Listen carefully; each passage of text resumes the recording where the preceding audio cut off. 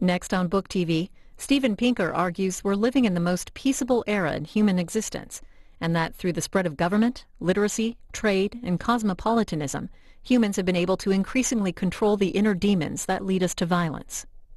This is about an hour and 15 minutes.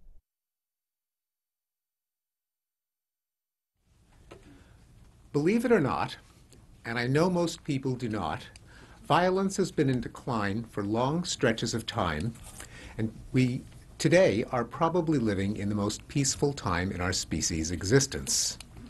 The decline of violence has not been steady, it has not brought violence down to zero, and it is not guaranteed to continue. Nonetheless, it's a persistent historical development, visible on scales from millennia to years, from wars and genocides to the spanking of children and the treatment of animals. Uh, this evening, I'm going to discuss six major historical declines of violence, their immediate causes in terms of particular historical events of the era that a historian would uh, single out, but also their ultimate causes in terms of general historical forces interacting with human nature. The first major decline I call the pacification process. Until about 5,000 years ago, humans everywhere lived in anarchy without central government. What was like life like in this state of nature? This is a question uh, on uh, which people have had opinions for many centuries. Thomas Hobbes in 1651 famously said that in a state of nature the life of man is solitary, poor, nasty, brutish, and short.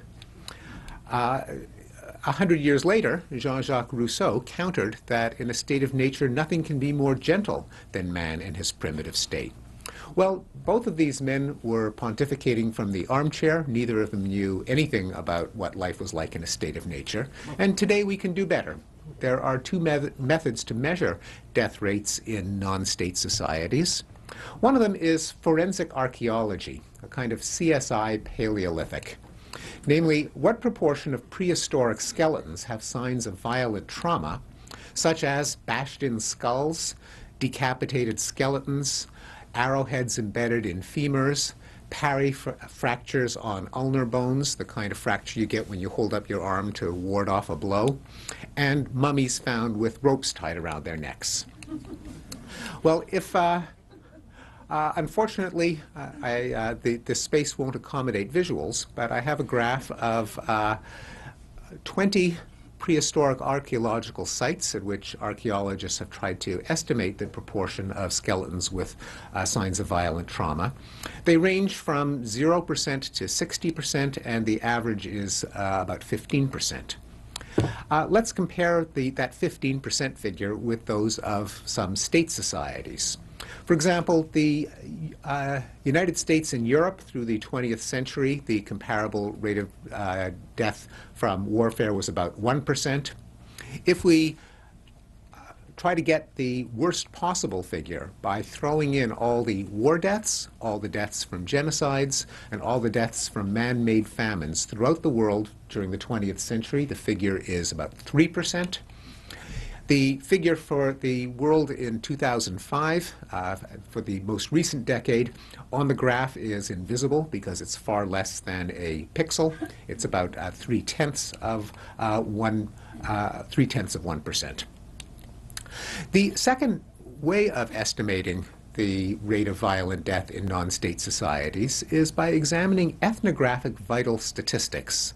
That is, what percentage of people living in uh, extant or recent non-state societies, hunter-gatherer and hunter-horticultural and other tribal societies, die at the hands of uh, their, their fellow uh, humans. Uh, again, the graph that I would display, if I was displaying graphs, shows 27 societies for which such figures are available. They range, and here I've plotted them using the conventional criminologist scale of uh, violent deaths per 100,000 people per year. The deaths rate, rates range from 0 to 1,500, but the average is about 500 uh, deaths per 100,000 people per year. That is one half of 1%. Again, let's compare that figure, a bit more than 500, with the corresponding figure for some states, and again, we'll stack the deck against states by choosing the most violent states in the most violent eras in their history, such as Germany in the 20th century. Two world wars, the figure is about 150. That's a similar figure uh, to what we have for Russia in the 20th century, which had went through two world wars, a revolution, and a civil war. Japan in the 20th century was closer to 60. The United States in the 20th century was less than three. And the world in the 20th century uh, is about a, uh, a, third of a death per 100,000 per year. Uh, sorry, that's the world in the first decade of the 21st century. The world in the 20th century, throwing in all of the world wars, genocides, and man-made famines is about 60 per 100,000 per year, far less than the 524 per 100,000 per year that we find in non-state peoples. Well, what was the immediate cause of this uh, change in rate of violent death? The most likely one is the rise and expansion of states. Students of history are familiar with the various paxes, that is, peaces imposed by an empire or hegemon, the Pax Romana, Pax Islamica, Pax Britannica, Pax uh, Sinica, and so on. Uh, when a state imposes control over a territory, it tends to try to stamp out tribal raiding and feuding. It's not because uh, that this comes from a uh, benevolent interest in the welfare of the subject peoples, but rather all of this raiding and feuding is a nuisance to the overlords because it just settles scores among them and shuffles resources around at a net loss to the overlords who would just as soon keep the uh, people alive to provide them with taxes and tributes and slaves and, and uh, serfs. Just as a farmer has an interest in preventing his cattle from killing each other, because it's just a dead loss to him, so an uh, emperor or uh, warlord will try to keep his, his uh, subject peoples from uh, killing each other at a loss to himself. The second historical transition in violence has been called the civilizing process, and it refers to the transition between life in the Middle Ages, and I have a, a lovely woodcut here of knights cudgeling, stabbing, and uh, uh, put, putting daggers through peasants, uh, and the early modern period. It turns out that in many parts of Europe, homicide statistics go back uh, hundreds of years to the 14th and often the 13th century. And if you plot homicide statistics over time, over the centuries, you find that they plummet from an average rate of about 35 per 100,000 per year to the contemporary European rate of 1 per 100,000 per year, a decline by about a factor of 35. Uh, this is one of many graphs that I'm going to ask you to imagine, which consists of a uh, jagged line that meanders from the top left of the graph when statistics uh, first started to be kept for the category of violence I'll, I'll, be discussing, and meanders its way down to the bottom right of the graph, which represents the era in which we are now living. And that is true for homicide uh, in Europe. Uh, the immediate cause of the European homicide decline was identified by the German sociologist his, Norbert Elias in his book called The Civilizing Process, namely that during the transition from the Middle Ages to modernity, there was a consolidation of central states and kingdoms out of the European patchwork of baronies and principalities and duchies and fiefs. As a result, criminal justice was nationalized, and a life of feuding warlords, we, they, they were uh, called knights, but today we would call them warlords, was replaced by the king's justice, where some genius had the idea that if instead of the family of a victim collecting blood money from the fa family of a killer, if it was the state that collected that money, it would be a constant revenue stream. Uh, and in fact, the uh, king sent a representative to every town uh, once a year to tally the number of homicides so that the king could collect compensation from the uh, family of the perpetrator. This agent of the crown uh, was called the coroner, uh, which is why we still call the official who assesses causes of deaths the coroner. Aside from the co consolidation of states, the transition from Middle Ages to modernity saw a growing infrastructure of commerce. Institutions such as money and finance and contracts that could be enforced and recognized within the boundaries of these newly consolidated states, and uh, technologies that lubricated trade, such as transportation, better roads, better uh, bridles for horses, instruments of timekeeping, and other technologies. The result was that uh, zero sum plunder, where uh, the plunderer's gain was the victim's loss, was increasingly replaced by positive sum trade, where both parties to a voluntary uh, exchange can benefit. The third major transition uh, can be illustrated by some of the methods that the early states used to impose peace on their kingdoms. Punishments such as breaking on the wheel, where the victim would be tied to a wagon wheel and the uh, executioner would smash his or her bones, uh, her uh, arms and legs with a sledgehammer, at which point the victim would be hoisted up on the wagon wheel and left to die of exposure and shock. Uh, burning at the stake, sawing in half from the uh, crotch up, uh, impalement through the rectum, and clawing uh, the flesh with uh, iron hooks. Uh, however, in a remarkably narrow slice of time, centered in the 18th century, torture as a form of punishment was abolished by every major country uh, including the United States in its famous prohibition against cruel and unusual punishment in the Eighth Amendment to the Constitution. This was part of a uh, global movement to abolish judicial torture. The 18th century also saw the uh, abolition of other institutionalized forms of violence that we now consider barbaric, such as the frivolous application of the death penalty. England in the 18th century had 222 capital offenses on the book, including poaching, counterfeiting, robbing a rabbit warren, being in the company of gypsies, and, quote, strong evidence of malice in a child aged 7 to 14 years of age.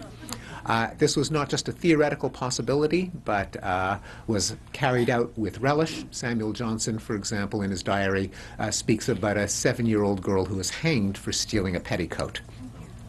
By 1861, the list of capital crimes was down to four, basically high treason, murder, and some of its variations. In the United States, too, there was an enormous list of capital crimes in the colonial and early uh, independent period. I have a graph showing the percentage of American executions for crimes other than murder and it meanders from close to 100% in the colonial period down to pretty much 0%.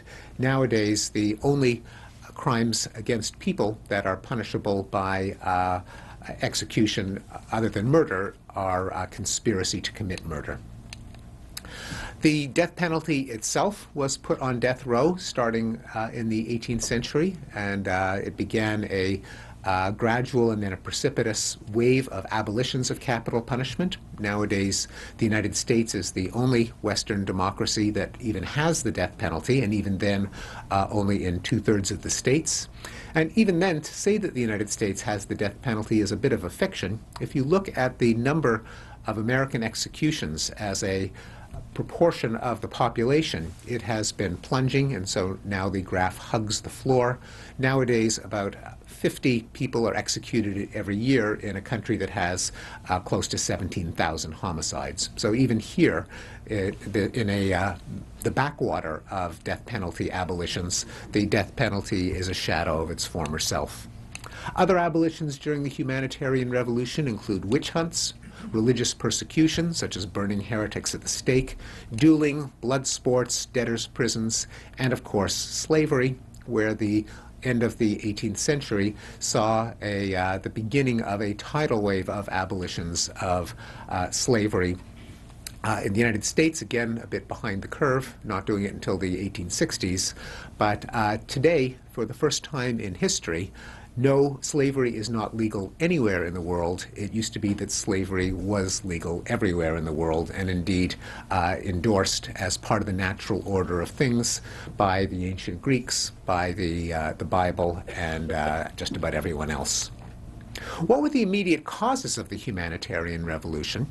Well, I've looked at a number of candidates, and the most plausible in terms of something that happened before the humanitarian revolution was advances in printing and literacy. Printing was the only industry that showed an increase in productivity prior to the Industrial Revolution in the 19th century, and the uh, cost of printing a book plunged in the uh, 16th, century, 16th and 17th centuries. The result was an exponential increase in the number of books that were published in European countries, and there were more people who could read them. In the 18th century, for the first time, a majority of Englishmen were literate. Well, why should literacy matter? The uh, causes are those that we uh, abbreviate with the term the Enlightenment. For one thing, knowledge replaced superstition and ignorance. Uh, as Voltaire said, those who can make you believe absurdities can make you commit atrocities. Uh, as you as your society becomes uh, smart enough to debunk various forms of hogwash, such as that heretics go to hell, Jews poison wells, witches cause crop failures, children are possessed, Africans are brutish, kings rule by divine right, and so on, it's bound to undermine many traditional rationales for violence. Uh, also, literacy can be part of a general current uh, towards cosmopolitanism, also encouraged by technologies such as uh, ships that allow the easy movement of and mixing of peoples. And it is plausible that as people spend more of their waking life reading fiction and history and journalism, they uh, start to inhabit other people's minds, see the world from their point of view therefore developing more empathy and less cruelty. If you reflexively try to imagine what it's like to be some other person, maybe you're a little less likely to enjoy seeing them disemboweled. Uh, the fourth uh, historical transition had to wait uh, another 150 years or so, and it's a uh, development that, borrowing from the political scientist John Gaddis, I call the long peace. And it speaks to the common conception that the 20th century was the most violent in history. Now, interestingly, people who repeat that claim never back it up with any numbers from any century other than the 20th century.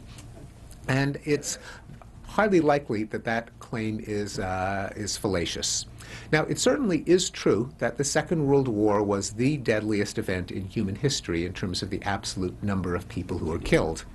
On the other hand, the world had a whole lot more people in the 20th century than it had in past centuries, and we record and care about war deaths a lot more in the 20th century than people did in previous centuries. If you try to estimate uh, admittedly retrospectively, the death tolls from atrocities in past centuries, and you scale them by the size of the world's population at the time, it's not so clear that the 20th century was the worst. I've taken figures from uh, several atrocitologists, as they call themselves, such as uh, Matthew White from his, his, forthcoming book, The Great Big Book of Horrible Things, where he lists the hundred worst things that people have ever done to each other that we know of. Uh, I divided them by estimates of the world's population at the time, and what happens is that uh, World War II comes in in ninth place, and World War I doesn't even make the top 10. That other atrocities such as the Mongol invasions, the African slave trade, the uh, annihilation of Native Americans, uh, and basically every time a dynasty fell in China, there could be several uh, tens of millions of people killed. Uh, and if you look at the worst atrocities throughout human history plotted over time, they pretty much form a, uh, an even cloud for 2,500 years. If you then uh, zoom in on the last 500 years, where we could do a little bit better, instead of just plotting uh, the atrocities, we can add them up for uh, the, the centuries. The political scientist Jack Levy has done that for a particular category of mass violence, namely great power wars. Wars that embroil the 800 pound gorillas of the day, the largest states, and the ones that in fact do far more damage when they get into a war than all the little wars combined. If you plot the proportion of years between 1500 and 2000 in which the great powers of the day fought each other, you see a curve in which, for the early uh, centuries, the great powers were pretty much always at war. Uh, there were, are many points in the curve that hit 100% of the years in, in a quarter century. Now the great powers are virtually never at war. The last great power war was the Korean War that ended in 1953. If you plot the duration of wars involving a great power, on at least one side, the duration goes down. We used to have things like the 30 Years' War, the 80 Years' War, the 100 Years' War. In the 20th century, we had the Six Day War. Uh, if you plot the frequency of wars involving a great power, that is how many new wars are started every year, again, you have a curve that works its way uh, downward from 1500 to the present. However, there is one curve that goes in the opposite direction. If you look for most of, of its history, if you plot the uh, deadliness of wars involving a great power. That is not how many wars are started, but how many people are killed once a war does begin. That goes in the other direction. That goes upward. That is, nations got better and better at killing larger and larger numbers of soldiers until 1945, in which that curve does an abrupt U-turn. And since 1945, wars for the first time in history have become both less numerous and less deadly per nation year of war. If you then combine these two figures, you multiply the number of wars uh, by the deadliness of each war, you get a zigzaggy curve, but the uh, crucial point is that the last point on that curve, representing the last uh, 25 years, in fact, the last two points, the last 50 years, are hitting all-time lows over the last uh, 500 years. This is the phenomenon called the long peace, uh, namely that in the last two-thirds of a century, since 1945, there's been a historically unprecedented decline in interstate war, wars between countries. To be exact, and here are some statistics that are very easy to convey. They don't need a graph because they all uh, consist of the number zero.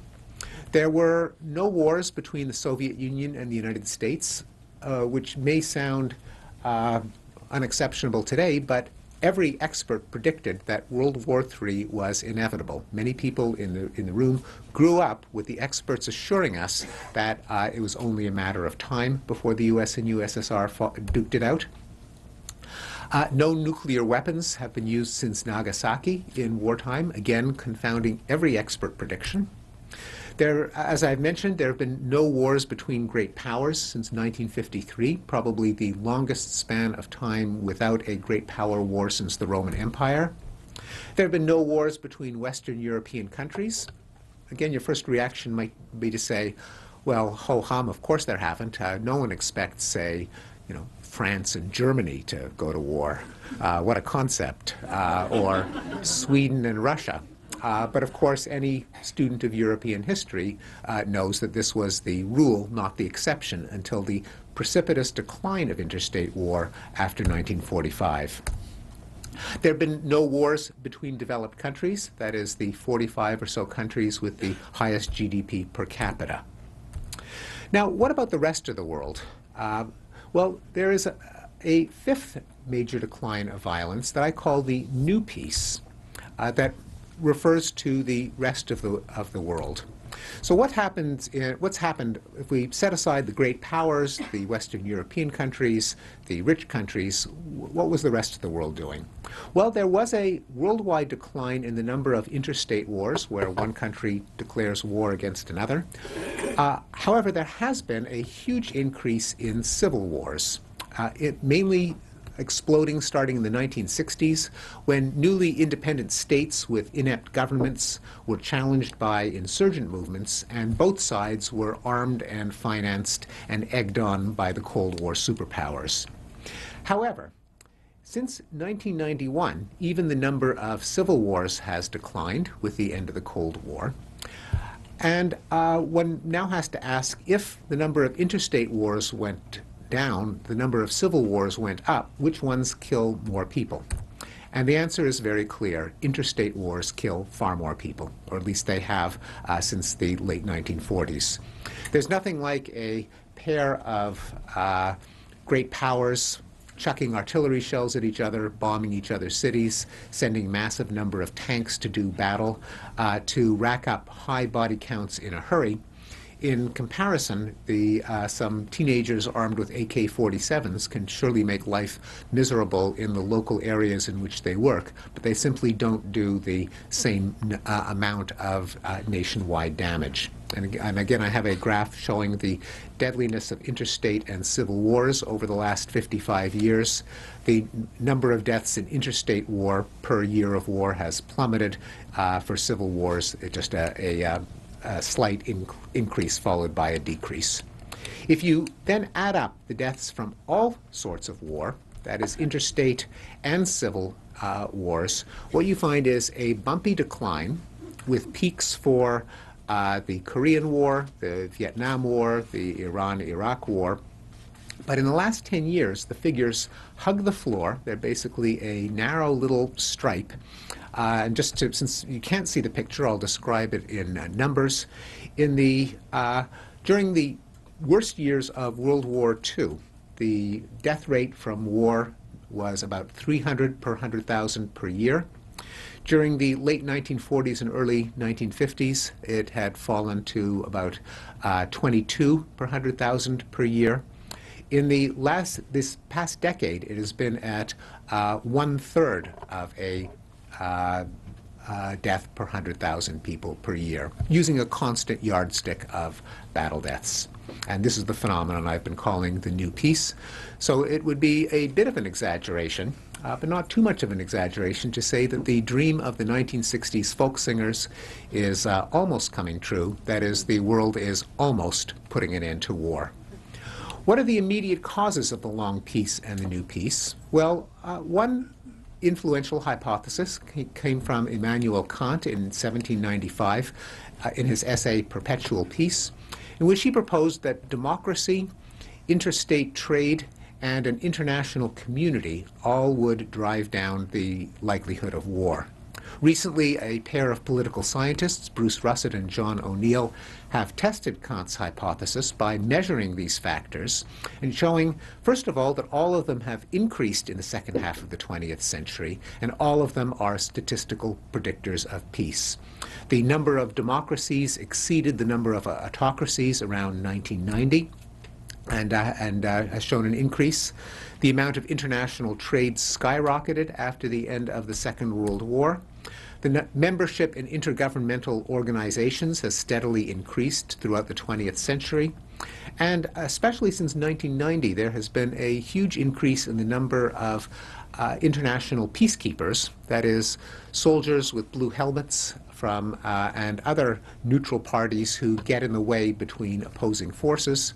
They don't always prevent a reigniting of uh, hostilities into war, but they do far more often than when there are no peacekeepers.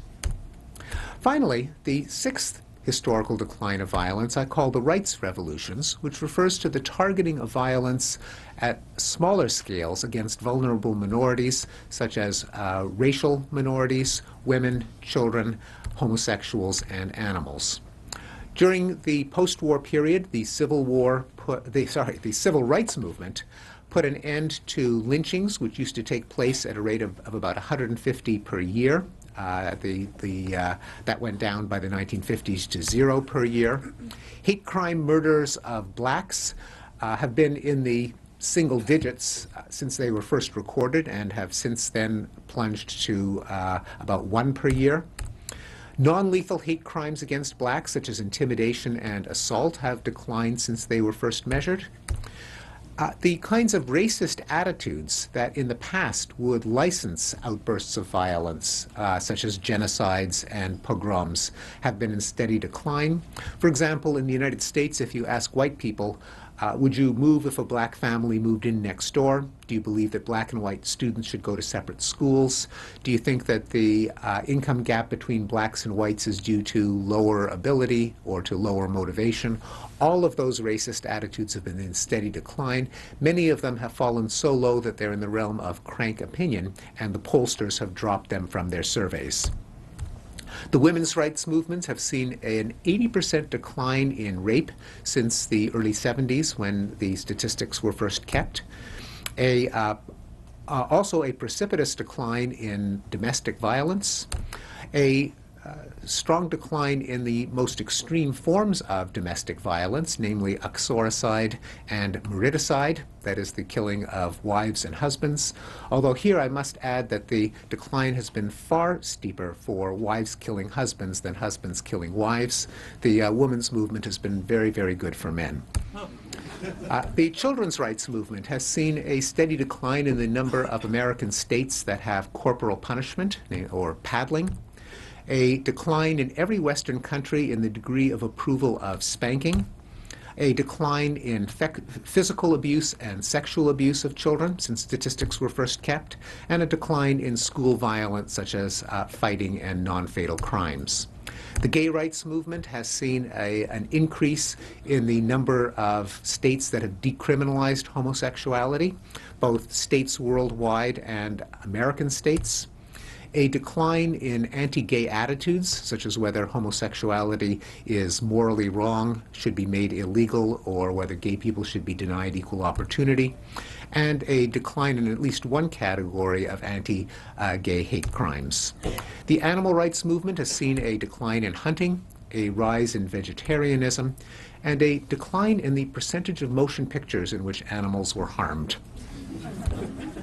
Well, all of this raises a question. Why have all of these graphs meandered downward uh, over the course of history? Why have there been so many different declines of violence at different scales of magnitude and time? Well, one possibility is that human nature has changed and that somehow people have lost their inclinations toward violence. I consider this an unlikely explanation. Uh, for one thing, uh, toddlers continue to hit, kick, and bite. Uh, little boys continue to play fight.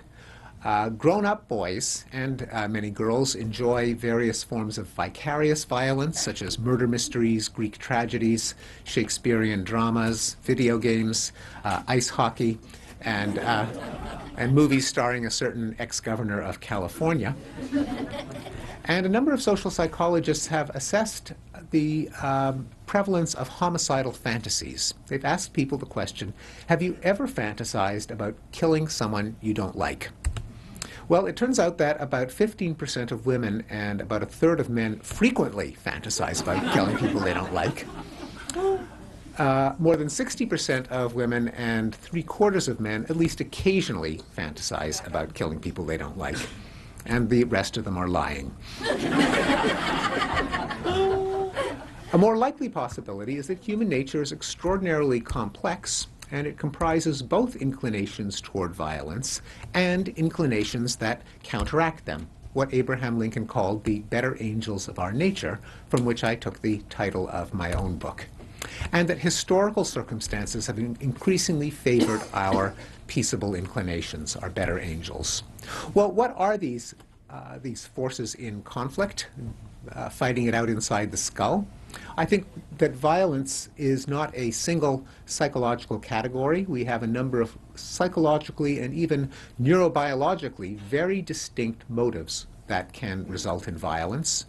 There's sheer exploitation, the use of violence as a means to an end when some living thing is an obstacle in the path of something that you want, which we see played out in uh, violence such as rape, plunder, conquest, and the elimination of rivals. Very different from that is the quest for dominance, the drive uh, for individuals to climb the pecking order and be alpha male, and the analogous drive among groups for ethnic, racial, national, or religious supremacy. The uh, very large category of revenge and moralistic violence, which results in vendettas, rough justice, and cruel punishments. Uh, and perhaps the biggest category are consist of violence pursued in um, quest of an ideology, such as militant religions, nationalism, fascism, Nazism, and communism, which can license vast outlays of violence because of a pernicious utopian cost benefit analysis. If your ideology holds out the prospect of a future world that is infinitely good forever, well, uh, what are you entitled to do in order to attain that world? Well, you can commit pretty much as much violence as you want, and you're still going to be making the world a better place by this cost benefit analysis. Also, imagine that you uh, have been vouchsafed with the uh, one uh, true faith according to which there is a utopia to which uh, you can strive. And there are some people who hear about this uh, utopia, but they just stubbornly reject it. Well, how evil are they? Well, you do the math, uh, arbitrarily evil. And that is why the tails of the distribution of, uh, of uh, massive violence tend to be uh, pushed outward by utopian ideologies. Well, what do we have on the other side to counteract these motives for violence? What are our better angels? There's self-control, the ability to anticipate the consequences of our behavior and to inhibit violent impulses. There's empathy, the uh, ability to feel others' pain. There's the moral sense, which is a family of intuitions, some of which, like tribalism, authoritarianism, and Puritanism, can actually increase violence. But at least one flavor of the moral sense, the uh, drive for fairness, can counteract violence. And then there's reason, the cognitive faculties that allow us to engage in objective, detached analysis. Well, if we have then these inclinations toward violence on the one hand, these inhibitions against violence on the other, what has tipped the balance over the course of history? What has brought out our better angels? The first possibility was proposed by Hobbes in his book called The Leviathan. A uh, Leviathan, referring to a state and judicial system with a monopoly on the legitimate use of violence, can eliminate the incentives for exploitative attack by uh, punishing it, can re thereby reduce the need for deterrence and vengeance, can circumvent the self-serving biases by which both sides to a dispute always believe that they are on the side of the angels and that the other side is wicked or stupid or stubborn or all three. Uh, people we know from social psychology research exaggerate their adversary's malevolence and exaggerate their own innocence. This can stoke cycles of revenge unless you have a disinterested third party deciding who's to blame and meting out the penalties.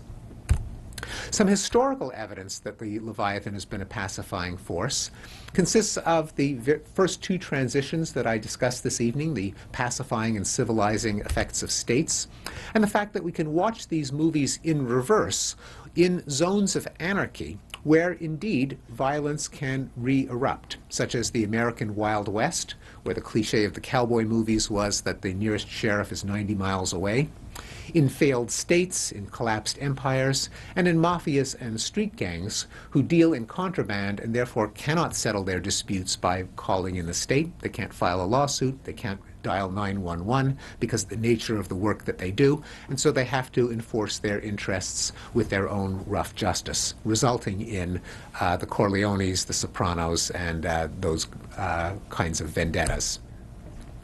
Uh, other evidence at the international scale includes the effectiveness of international peacekeepers. The second historical force that draws out our better angels, I suggest, is uh, gentle commerce. The idea that uh, plunder is a zero-sum game, but tra trade is a positive-sum game in which everybody can win. Over the course of history, as technology improves and allows the trade of goods and ideas over longer distances among larger groups of people and at lower cost, more and more of the rest of humanity becomes more valuable alive than dead. Uh, a concrete example might be that there isn't a whole lot of affection between the United States and China these days, but it's not terribly likely that they'll go to war. Uh, among other things, they make too much of our stuff, and we owe them too much money.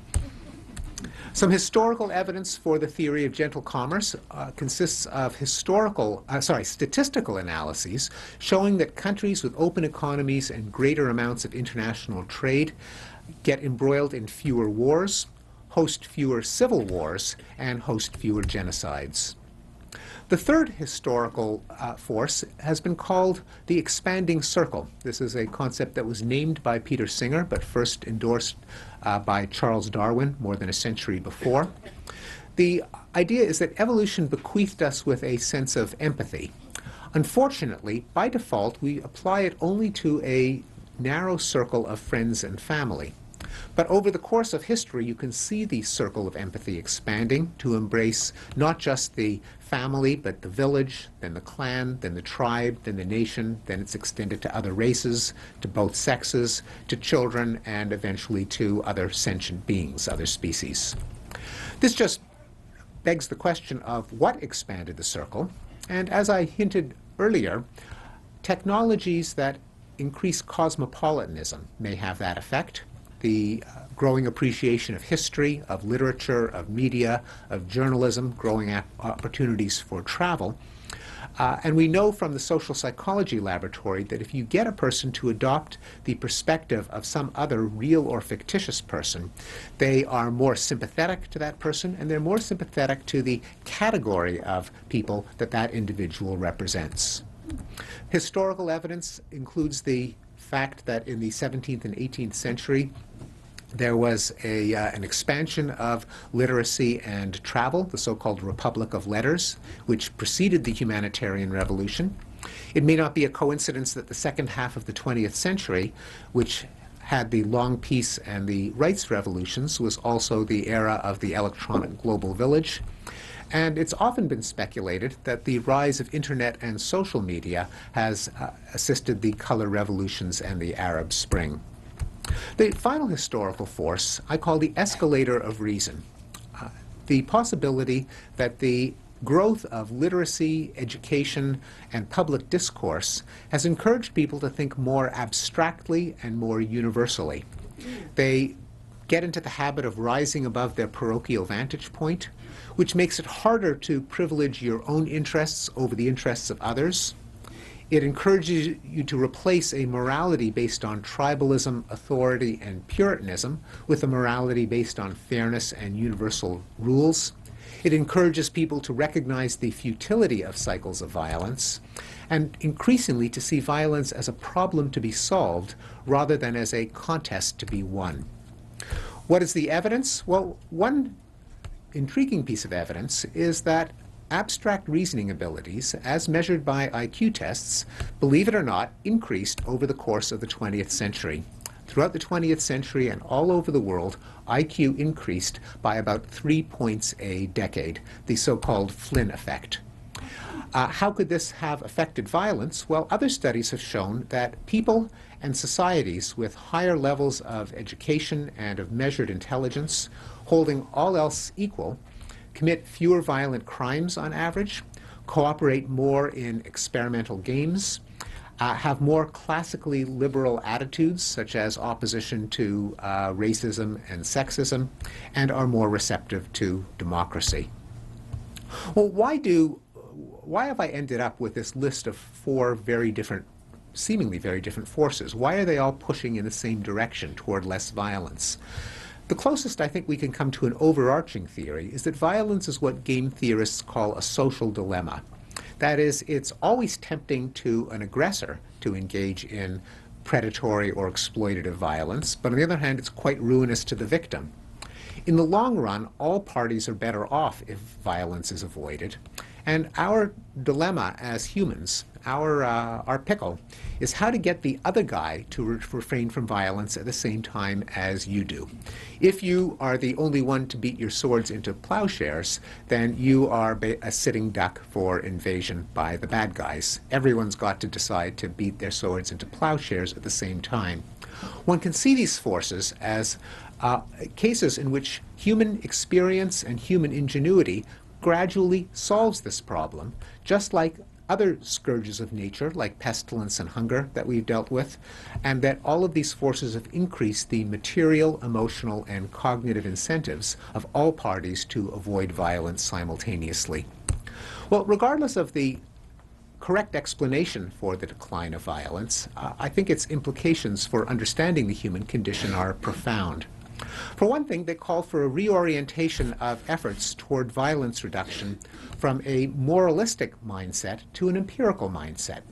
Instead of asking, why is there war, we might be better off asking, why is there peace? Instead of, what are we doing wrong, we might ask, what have we been doing right? Because we have been doing something right, and it sure would be good to find out exactly what it is. Thank you very much.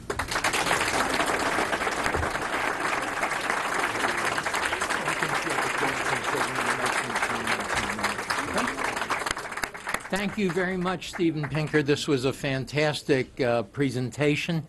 Uh, already, uh, people are lining up for the questions.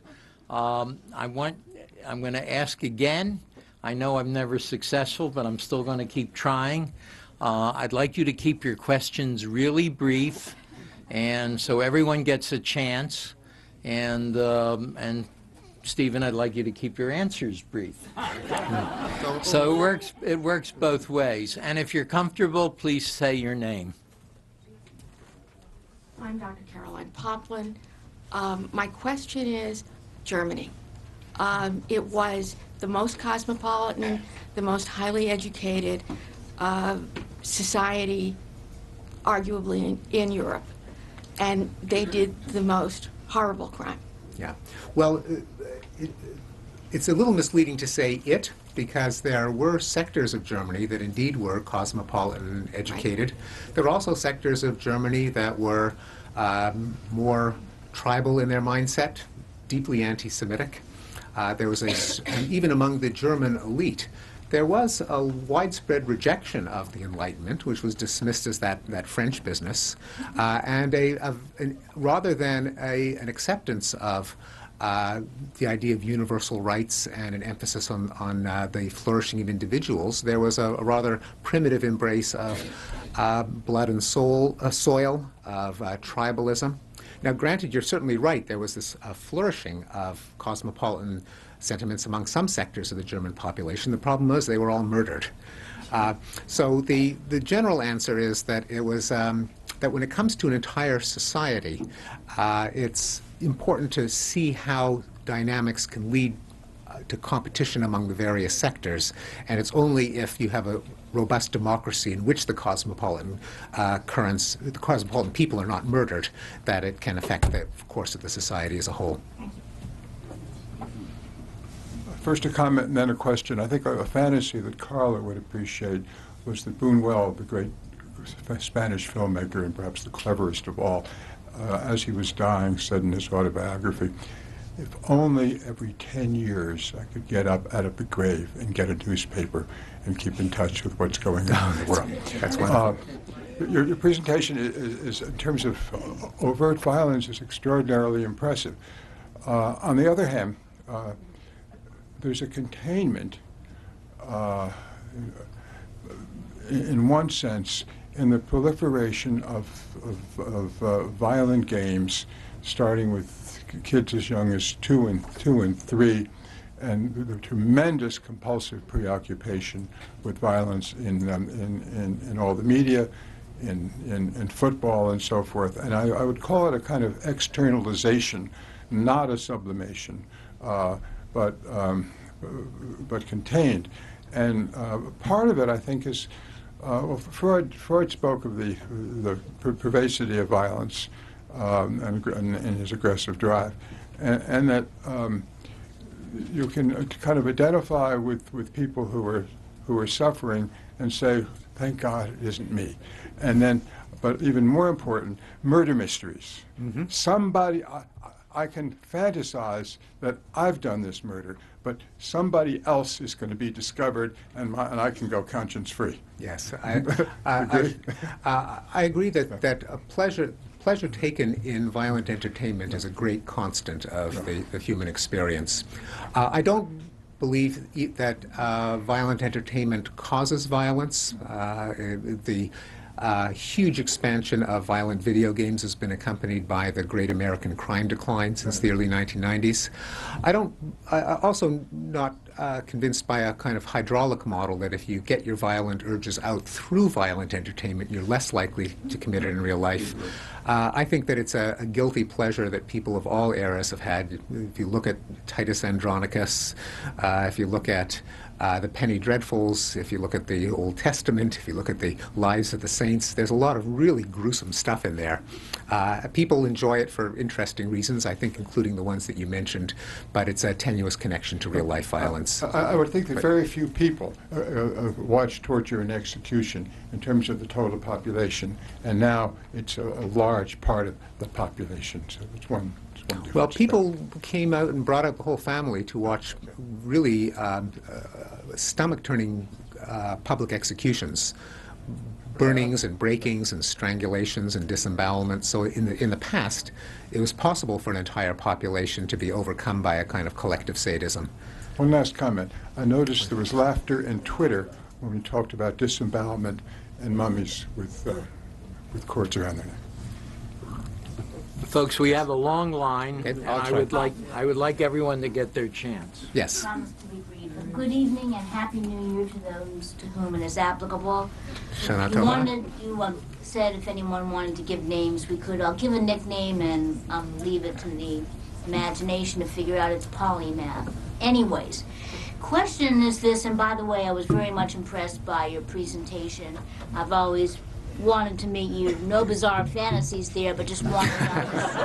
um, trust me, I'm no no murder involved. But believe me, I'm I'm very passive. But question is this: Do you think some people are actually biological, have a tendency to really almost be inherently evil. I've sometimes looked at clowns in the dark, and they, I look like as though maybe there's a fear of clowns. I still have that they could, these toy clowns could arouse evil. Little children, um, holding like scissors behind their back and saying, you know, three-year-olds, you know, look like little charming, pretty little girls. You want to play? You want to play. And if you get too close, watch out. That that knife is gonna, that scissors are gonna be a, a nice dagger in your guts. And no matter how you raise them, even if they're adopted by the most nicest, kindest people, most intellectually brilliant, there's something about them that they like to see others suffer. Yeah. There is, the, the answer is that there is a substantial heritable component to antisocial tendencies, and at the extreme end, violent antisocial tendencies. It's not uh, obviously completely heritable, but within a population, the troublemakers, the um, mo- more callous, more impulsive people, uh, they get that way in part be- for genetic reasons, because thanks to the, re- the real life research that carries out the thought experiment you mentioned, namely compare uh, adoptive children to their biological parents and their adoptive parents, shows that there is some statistical tendency. The most extreme are psychopaths, uh, a few percentage points of the population, that seem to be without the ability to uh, develop a conscience that counts the interests of others. So it's among individuals there does seem to be some heritability. And yes. you never know. The average person I think we need to move Yes. on. I think it's only you. fair that everyone get a chance. Thank you. Trying it on. Hi, my name my name is Noah Brayali, and my, my question is about um, w- um, the backroom boys. It's a, phrase that was uh, used to refer to uh, the chemists and chemical engineers at DuPont who developed uh, um, the napalm that was you know used to great effect in. Um, uh, in, in, the war against Indochina, the United States was involved, the Vietnam War. And uh, so, um, in reviewing the, the record of um, uh, the, the backroom boys, uh, Professor Noam Chomsky, a friend of yours, colleague of yours, I'm sure you know who he is, um, uh, remarks that there's um, uh, an objectivity and a distance from the effects of their actions that these backroom boys had in their very technological occupations. And he traces it to uh, the Thirty Years' War and mentions that this uh, institutionalized violence by objective and rational and reasonable people uh, through largely technological means has its roots in those uh, prolonged genocidal conflicts that you mentioned have abated in uh, severity. So that that time, uh, maybe 30% of what's now uh, Czech, Czech Republic just perished through the effects of that war. And as you rightly mentioned, the percentages of genocidal conflict killed by these kind of wars have declined precipitously. but the institutions seem to remain with us, in particular this dispassionate, reasonable, and objective countenancing of extreme violence, particularly technological in form, like these backroom boys at DuPont in the 1950s, developing napalm and other uh, you know, very effective killing agents. Yes. Well, the what I've really been concerned with is when these agents have been deployed, and it's interesting that as contrary to what I often hear, namely as we develop high-tech push-button forms of warfare, won't that uh, circumvent the inhibitions that we have against hands-on, bloody, gory violence, and therefore would you would that lead you to expect violence to go way up? And I don't think that that's consistent with the process of history. You mentioned the 30 Years' War with the, those uh, horrific rates of, of, uh, of, violent death, and those were carried out by you know pikemen and uh, with edged weapons and uh, uh, bayonets and so on. Uh, I think people can very easily overcome their resistance to hands-on violence, and in fact, it's often the most high-tech forms of violence that are deployed most gingerly, nuclear weapons being an example, which have uh, not been used since Nagasaki. Uh, so I think the correlation is much less than people think, simply because it is so easy to commit hands-on violence. On, his, on the you're, you're, talking about the historical record, on, the, yeah. Uh, on this historical link between this technology of violence and that particular, um, you know, pattern of, uh, in particular in Europe, in Northern Europe, this pattern of, uh, you know, technologically very rich and uh, devoted to culture of violence. You know, you've reviewed this history of violence. How, uh, how, how clear is that connection? Yeah. The uh, technology, the highest technology of any culture is typically applied to weapons of war. So the Mongolian um, hordes on horseback had amazingly well-engineered composite bows that could do vast amounts of damage very quickly. So that's something that people seems to bring out people's ingenuity. I am uh, Paul Steinberg, a psychiatrist here in town, and uh, uh, I'm, I'm, wondering if you could just comment on this, these thoughts that uh, you may be dismissing uh, uh, the change in human nature a little too quickly, in the sense that genes are always in a dance with the environment.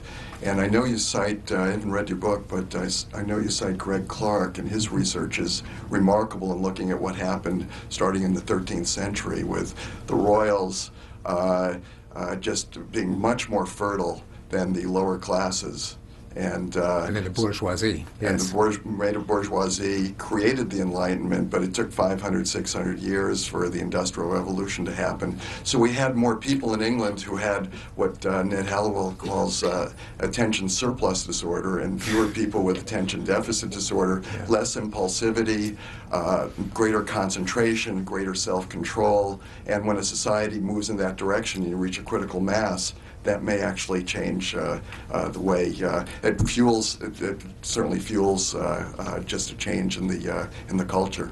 Yes, uh, I, and, and, I discuss that possibility at length in the book. I end up not embracing it, though not rejecting it, mainly because of lack of, for one thing, lack of evidence. It, it, it makes the prediction, for example, that Englishmen, uh, regardless of uh, their culture should be genetically less prone to impulsivity and violence than uh, people uh, from other cultures and races. This isn't a possibility that I'm eager to test anytime soon or anyone else. Uh, but moreover, it may be unnecessary. My, the, the, uh, it's very early in the investigation of recent biological evolution. But given that some of the developments that I discuss occurred far too rapidly to be attributable to genetic evolution, such as the plunging of the crime rate since 1992 or the rights revolutions. So something must have happened that was not genetic that could account for that plummeting. So on grounds of parsimony, I figure uh, we don't have any need for the hypothesis that there's also been a genetic change, while not ruling it out. Hey, I'm a terrible public speaker, but a huge fan, so I'll try to keep it together and ask you a question here. Mm-hmm. Um, I'm curious about people's relationship in a representative democracy with civilian law enforcement, and it's really interesting to hear about you know, declining rates of violence, but at the same time, things like paramilitary police forcing and SWAT teams have like gone way beyond their original intention for like hostage situations and even famously last year someone you know they're breaking into people's homes over you know college loans et cetera so so if if rates of violence are really declining amongst the people why are the, the civilian law enforcement seem to be flexing their muscles in a way that doesn't correlate with the decline in violence? Mm-hmm. Well, it's um, we have to look at figures over time of government violence perpetrated against its own civilians. And I suspect that, that there hasn't been much uh, at all of an increase compared to earlier decades and centuries. Uh, in bringing in the Leviathan to keep people from each other's throats, you then introduce the second problem of keeping the Leviathan from people's throats. That first transition was a, a, tough bargain because it did lower the rate of violence, but then it gave you this, these uh, bloodthirsty despots to deal with. The democratic revolution, and indeed the continuing uh, battle for democracy and civil liberties, is an attempt to find that sweet spot where the government is powerful enough to deter predation by one citizen over another, but not so powerful that it becomes a menace to its own citizens. And that's something that we're, I, I suspect, always going to muddle through. Thank you. I'm going to make sure that everyone in line gets to ask their question, and th that will be our limit tonight. So Hi, my name's Gregory Walsh. Um, I want to say I've been really looking forward to reading this book ever since seeing a speech you gave three or four years ago at the, the TED conference yes. on this same topic. Um, I was, however, wondering if you could uh, comment on uh, some allegations made in a book I recently read called, um, got a blank on the name, uh, Sex at Dawn, The Prehistoric, Evolu uh, Prehistoric Origins of Modern Sexuality, in which those authors allege that some of the data you present about uh, rates of violence among hunter-gatherer cultures, which you called, I think, non-state peoples tonight, is erroneous. They, they allege, for example, that uh, the data at the time it was collected, these people had had contact with modern society for many decades, that um, they're not, in fact, nomadic, they're settled peoples. Um, I've just been curious ever since reading that to hear your response to some of those allegations. Yeah, I'm not familiar with those allegations, but the um, the data that I present are. Um, uh, many of them are from people who definitely had no contact with uh, any Europeans, such as samples of skeletons from pre-Columbian Native Americans. Uh, many of them are also from uh, hunter-gatherer and hunter-horticulturalist people who also had no contact. So I don't know, you know, I can't respond to these allegations not knowing what they are, but certainly the sources that I've consulted make it very clear when there has or has not been uh, contact. And they span a, a, range. There are some societies that don't have measured rates of uh, of uh, homicide or deaths in war. But uh, on average, the rates are way up there, and they're from many, many societies of different kinds. What they have in common is not living under uh, government. And that seems to uh, uniformly give, or no, I shouldn't say uniformly because there are some at the tail of the distribution, but on average give rise to high rates of violence. And uh, from what I can tell from the, both the ethnographic and archaeological literature, that's uh, a, a, solid conclusion. Uh, and I cite many surveys that, that uh, have the numbers that, that back up that claim. Thank you. Yes, hi, I'm uh, Rich Blaustein. Thanks for your stimulating presentation. I guess uh, when you're listing, uh, listing uh, factors showing decline in violence in our society, everything from you know paddling to death penalty to rape, I guess one exception that kind of stood out in my mind would be incarceration. Mm -hmm. A very high level of incarceration. Of course, there are violent people that uh, deserve to be, but there's also nonviolent crimes. There are huge sentences. Um, people thrown into a situation where that prison life is not getting less violent. I was wondering how you factor into that at the yeah. larger picture. Well, in historical terms, uh, modern American prisons, as horrible as they are, are much less violent than prisons uh, several hundred years ago, when you could have, say, prisoners uh, shackled to the floor or wearing iron spiked collars, and their family would have to pay for easement of irons for the spiked collar to be taken off when there was uh, extremely high rates of death from disease and starvation in the prisons. This is not to defend the current American prisons by any means, but historically, uh, it would be inaccurate to take the current American imprisonment binge as evidence that nothing has uh, improved. Now, the American imprisonment bulge of the last uh, 20 years partly was a way of reducing the, uh, counteracting the enormous increase in street violence uh, and violent crimes of all types that had uh, overtaken the United States from the 60s through the 1980s. The homicide rate more than doubled in those decades, the rate of rape, the rate of assault. And so, as a rather clumsy countermeasure, there was an increase in incarceration, which in part was responsible for the fact that the uh, violent crime rates have plunged back to earth since the 1990s. Not entirely because uh, there were a, a, number of other causes of the violence decline, but most statisticians of crime attribute at least part of the crime decline to the increase in, in imprisonment. Now, in the United States, as with many other uh, of the trends that I've been mentioning, it's a little misleading. It's the country we all know best, and we tend to think of it as representative of, of Western democracies, but it's really, really an outlier. And a lot of the trends that I've mentioned have uh, are true for every Western democracy but the United States, which is kind of pulling up the rear. And uh, it's true of homicide, it's true of capital punishment, it's true of willingness to engage in wars, uh, and it's true of imprisonment, where we throw a disproportionately large proportion of our population uh, in, in prison compared to other Western democracies. But certainly on the century scale, there's just no comparison between today's prisons and, and uh, those of the 19th and 18th centuries.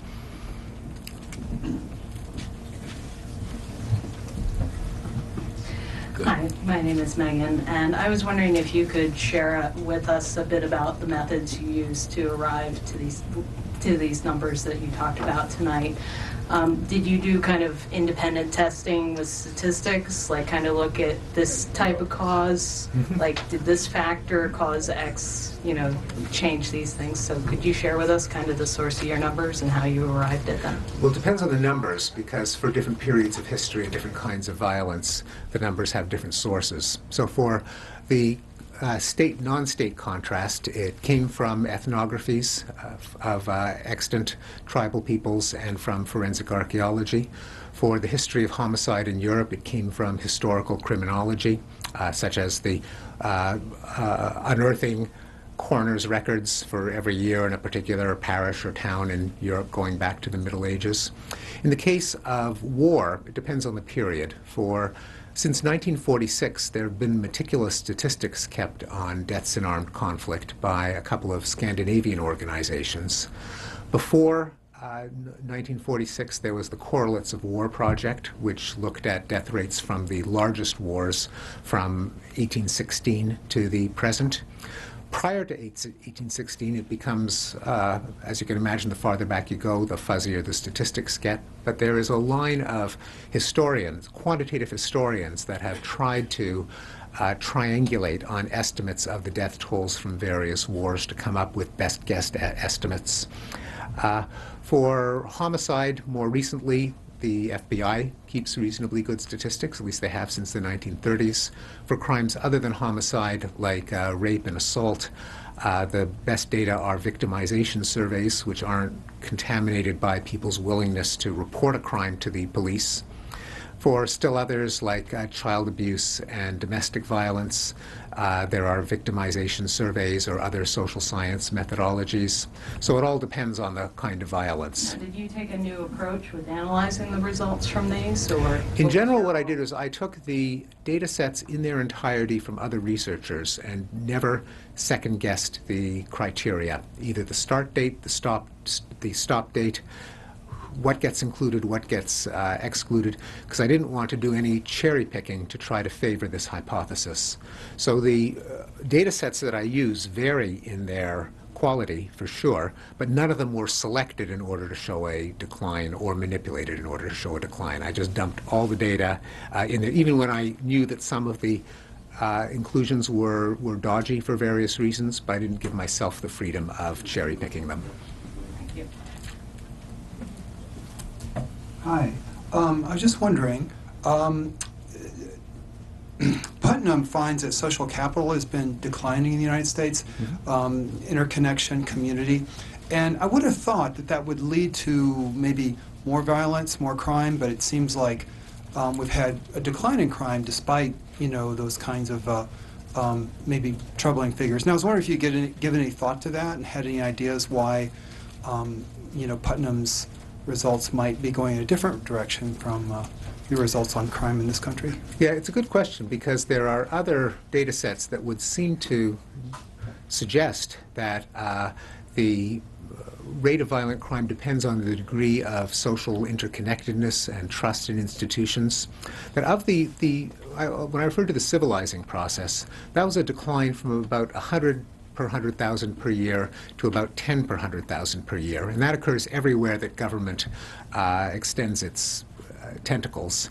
But then the further decline that we see in uh, Europe and in parts of the United States from about 10 down to the single digits, the low single digits, seems to depend not on the presence of government, but on some more nebulous process of accepting uh, the legitimacy of the social order that indeed, as you suggest, you'd expect to correlate with the health of, of uh, communal institutions, but as you also point out, don't.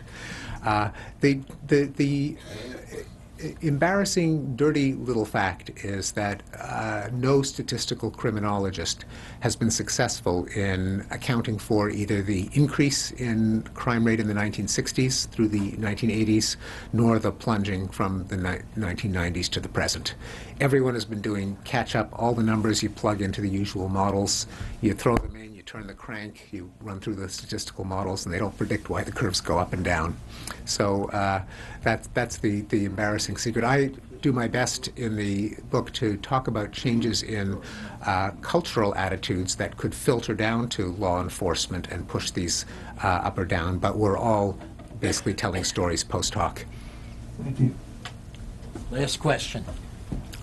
Uh, my name's Rich Potter. Um, thank you. Uh, I'm can't wait to read this book. It's a fascinating uh, subject.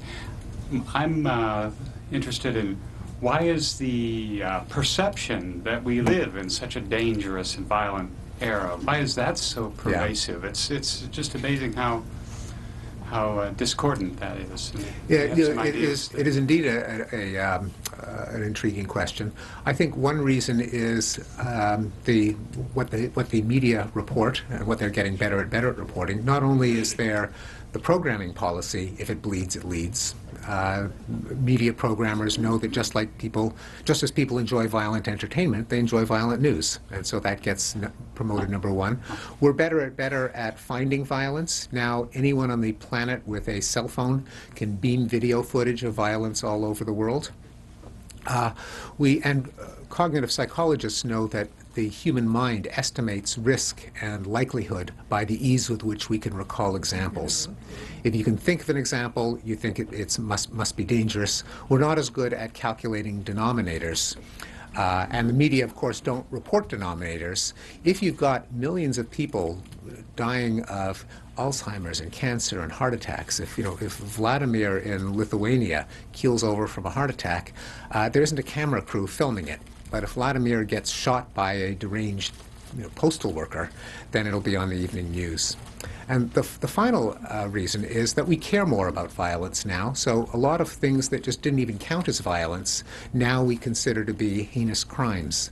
The most blatant example is genocide, which uh, before the 20th century, no one seemed to think there was anything particularly wrong with genocide. It's all over the Old Testament. That doesn't seem to be a problem for anyone.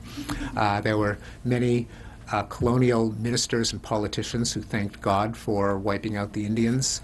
Uh, there's a change in sensibility that has gone further and further down the scale to isolate behaviors that before were okay. My favorite example being the recent targeting of bullying. Uh, no less than the President of the United States gave a policy address on what we're going to do about bullying in the playground. Now, 25 years ago, this would have been like a, an episode of The Simpsons. It would have been absurd. Uh, boys will be boys. It's part of childhood. How are kids going to be you know, grow up tough if uh, you're going to turn them into sissies? But now we think of life from the point of view of the bullied child. There are many, many uh, accounts of the suffering of victims of bullying, and now there's a new category of violence that wasn't even counted as violence before. For more on Steven Pinker and his work, visit stevenpinker.com.